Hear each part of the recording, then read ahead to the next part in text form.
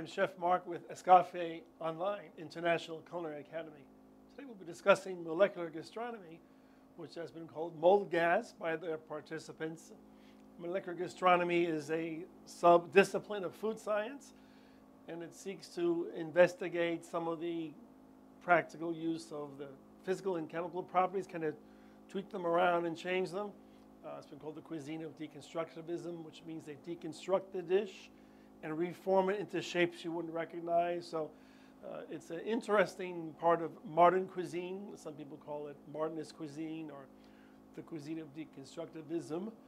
Difficult term in the culinary arts, but it's the way that people have, for a long time, used science to separate out flavors and actually break up and reconstitute uh, food to make it look different and to taste uh, it could be a roast beef, but actually looks like a pizza. So they kind of rearrange things around so that it's kind of unique.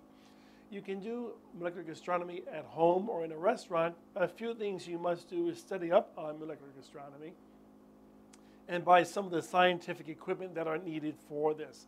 And that would be a uh, small, low temperature circulating water bath, uh, a vacuum machine, and pretty much you can be on your way to creating dishes um, that uh, are done by this method of cooking.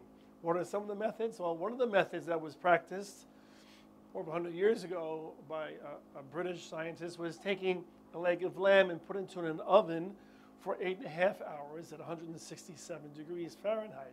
So very slow cooking, and that's what a lot of catering businesses will use today.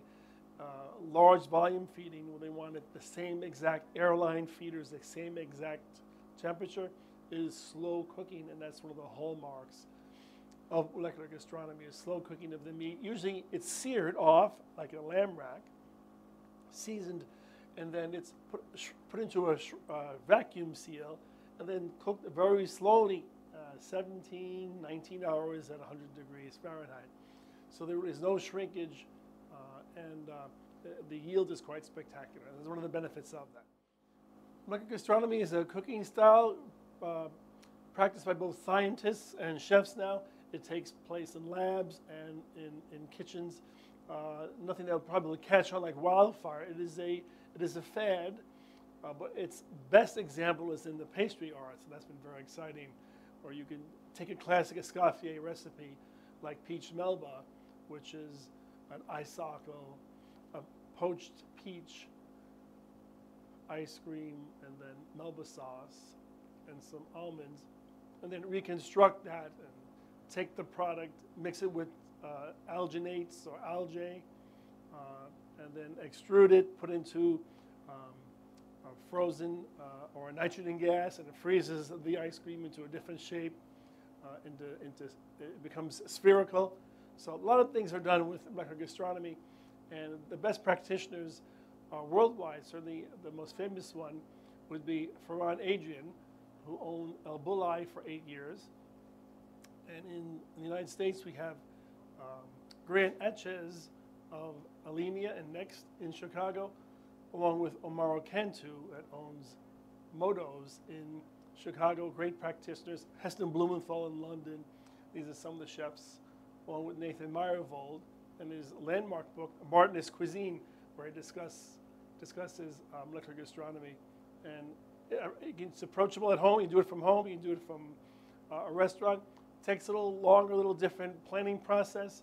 It isn't quick out, uh, like a steakhouse. You can't turn it out that quickly, but it's something you can sell to customers. And certainly, it's very good for catering as well, uh, whether you're a home private chef or a commercial chef, to set up your kitchen to provide modernist cuisine or the cuisine of deconstructivism. It's very unique. It's, uh, it's uh, can be trendy been around for 15 years now.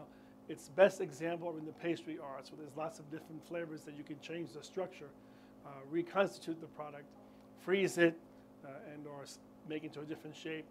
Uh, and that's the popularity of microgastronomy. A lot of fun. It's a great art form. Uh, sometimes the food doesn't look like it's supposed to be. It's like something else. It's certainly food. That's the part of any art, is that art changes. Foods is the culinary arts, and the culinary arts has evolved into what we call modernist cuisine. Very exciting, very unique.